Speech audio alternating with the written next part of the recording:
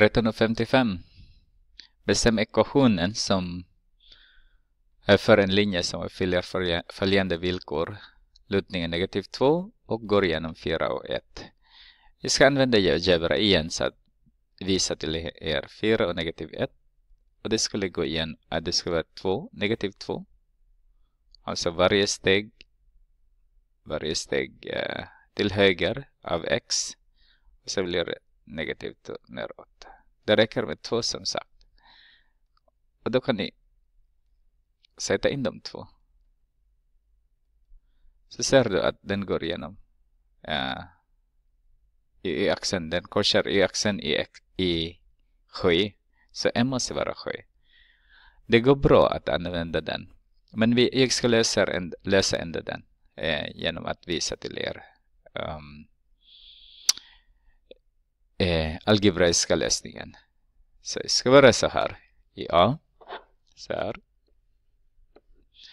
K är lutningen. Så vi har 4.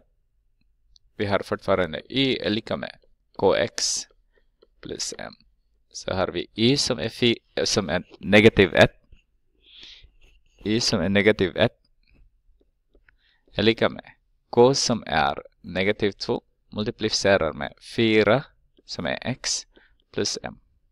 Så negativ 6 plus m är lika med negativ 1. Är negativ 8 menar jag. Negativ 8. Så är det positiv 8, motsatsen, positiv 8. Så har vi m är lika med 7 som vi har sett på grafen.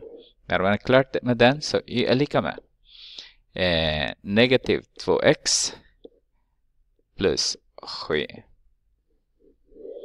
Där är den.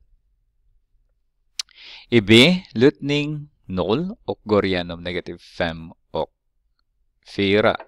Jag skulle, jag skulle bara visa till er att den här är negativ, negativ 5 och 4.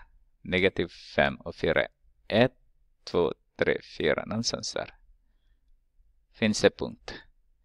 Eh, så jag ska göra så här.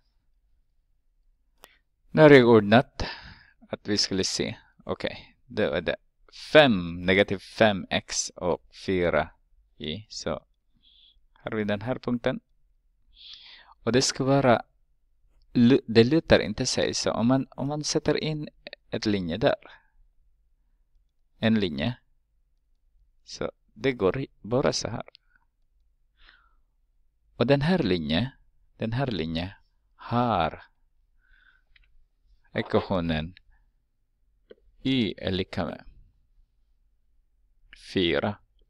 Alltså den här linjen går igenom y är lika med 4. Hur bevisar man den då? Därför att om det är m, om, det, om ni har, jag tar b, här b, så har ni eh, y är lika med kx plus m fortfarande så har vi 4 som är J. Och sen har vi 0 som är k. Och sen x som är negativ 5 plus m. Så ser ni att det är, den här är 0, så har vi m är lika med 4.